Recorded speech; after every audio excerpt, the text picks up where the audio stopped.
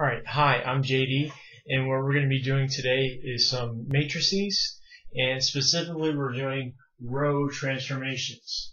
And we're doing the basic elementary row operators. What I want you to do in this practice problem, I want you to start off with this matrix. It's an augmented matrix with 1, 2, 5, 3, 4, 6. And before you do the uh, go through this problem, let me explain a little bit. You have three basic operators, operations. One is the switch, where you just simply exchange the rows. You just change, the, you know, you just you just switch the rows. In the second step, you multiply it by the number. You just take the row, whatever the row is, and you multiply it by that number.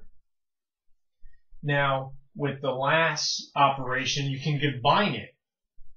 You can add rows together. You can add or subtract. You can add a row by a number times another row. And it has to be a different row. And that will go into the row that you started with. So if you would, pause the video and see if you can do this on your own. Alright, hopefully you took the time to do this problem.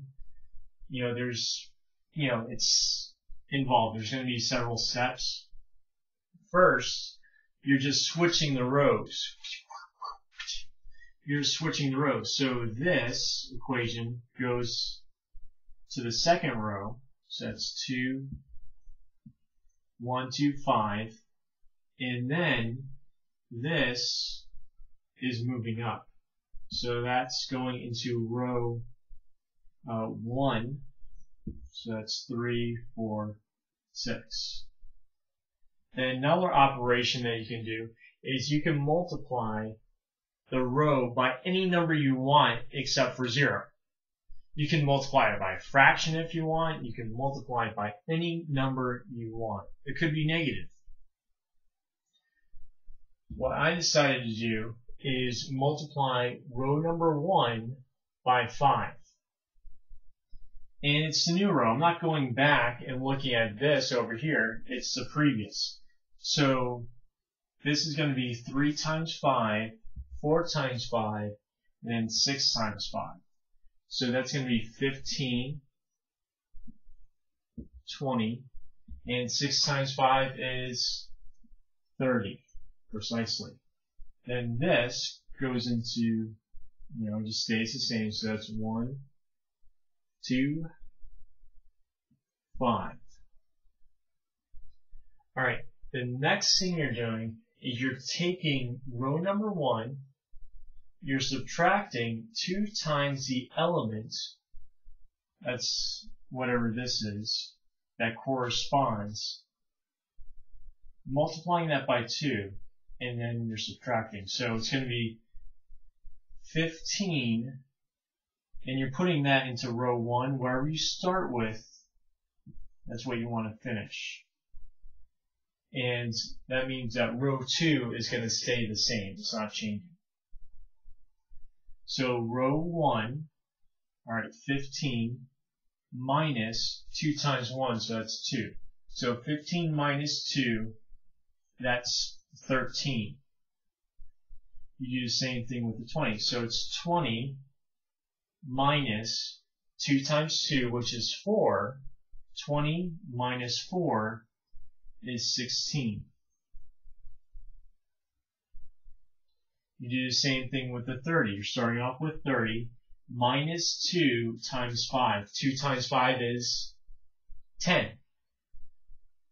So this is 30 minus 10. That's going to give me what? 20. And then row 2 stays the same. So that's 1, 2, 5. That's it. Hopefully you get familiar with these. You can exchange any two rows you want.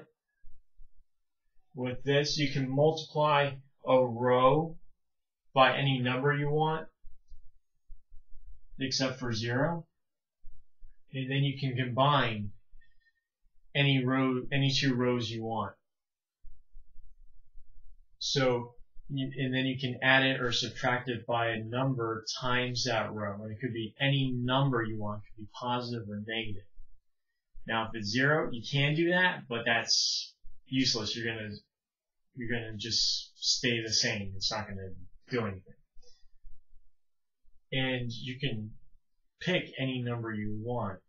When you're doing row transformations, usually you're eliminating something. So you can intentionally pick a number so that when you subtract it, you'll get zero as a result. So those are just a, a well, it's the elementary row operations for matrix transformation.